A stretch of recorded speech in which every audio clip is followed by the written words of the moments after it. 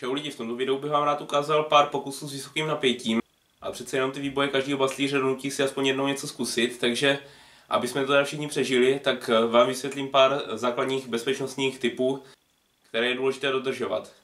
Takže první věc asi, jasný, že potřebujete ty jednotlivé věci nějak propojit a nejběžnější způsob jsou takto kabely se dvěma svorkama na koncích a běžný drát. Tady je potřeba si uvědomit, že ta izolace je certifikovaná na 600 V, což jakoby není problém, to nám nebrání ty kabely používat, akorát je důležité si uvědomit to, že se tou izolací nemůžou dotýkat žádné vodivé věci a taky se jich nemůžeme dotýkat a kabely se nemůžou nějak křížit, takže vlastně si to můžeme představit, jak kdyby ty kabely vůbec nebyly izolované, takže oni normálně tu elektřinu povedou, dají se tam zapojit, jak budeme potřebovat, ale konstrukčně to musí řešené tak, aby se teda nic nestalo, aby se izolace nemohla nějak prorazit, něco s něčím spojit, někomu to ublížit nebo něco zapálit.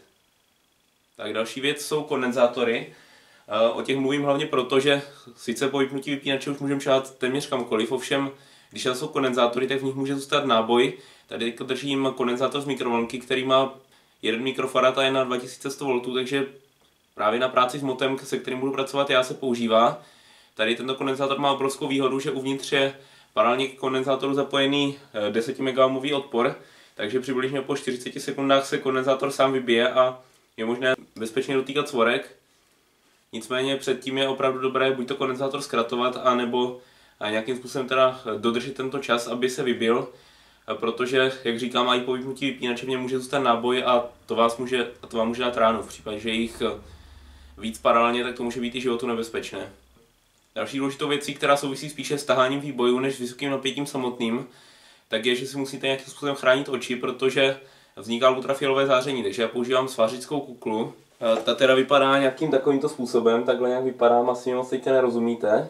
Nicméně proti UV záření i proti viditelné části světla to izoluje docela dobře. Tom další věc, která souvisí v podstatě s tou izolací těch drátů, o kterých jsem tady mluvil, tak si musíme uvědomit, že ani ta izolace na těch krokosvorkách nás neochrání, že nemůžeme takto držet krokosvorku v ruce a tahat výboj ale je dobrý použít například nějaký plastový ideálně nebo v horším případě dřevěný izolant, kterým budeme držet ten živý konec, kterým budeme tahat výboj.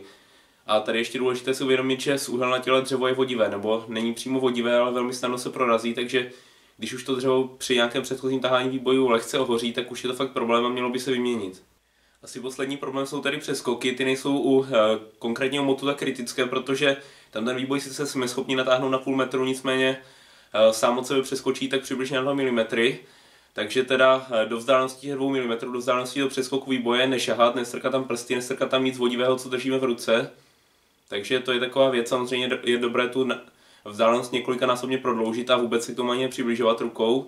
A taky je dobré si ty živé části toho zařízení umístit tak, ve, ve kterých je vysoký napětí, aby jsme do nich omylem nešáhli, když například se budeme natahovat vypínače, jsme zařízení zapli nebo vypli, tak aby cestou nebyl nějaký neizolovaný drát, případně drát izolovaný touto izolací certifikovanou do 600 V, eh, která by mohla způsobit taky nějaký problém. Takže doufám, že se nebyl moc nudný a že se to video ještě nevypli.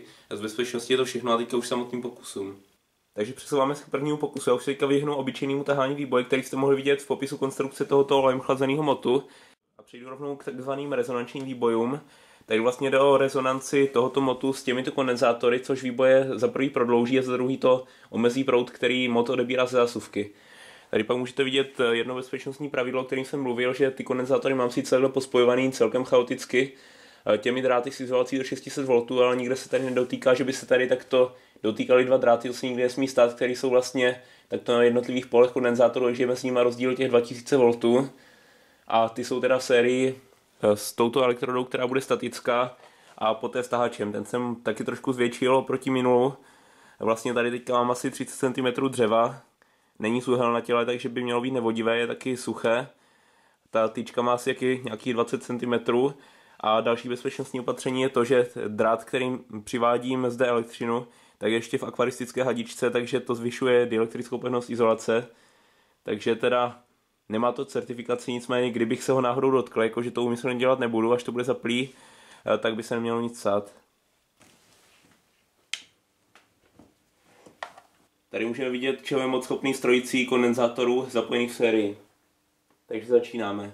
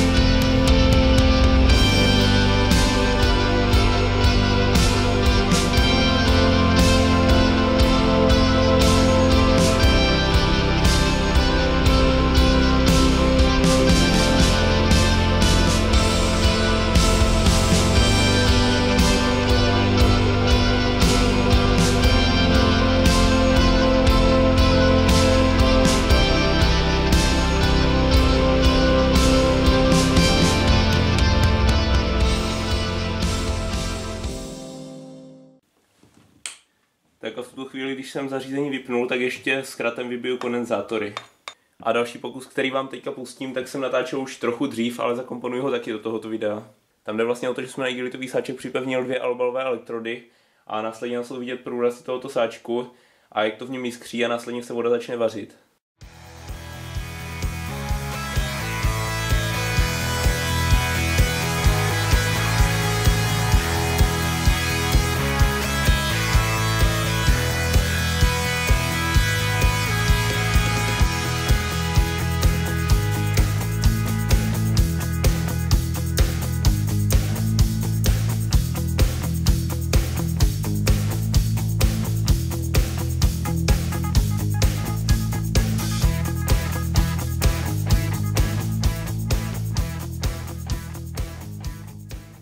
Takže toto by bylo teda z videa o vysokém napětí všechno. Samozřejmě, než začnete někam vrtat nebo dělat nějaký takový pokusy, tak používejte mozek a v tom případě se vám nic nestane.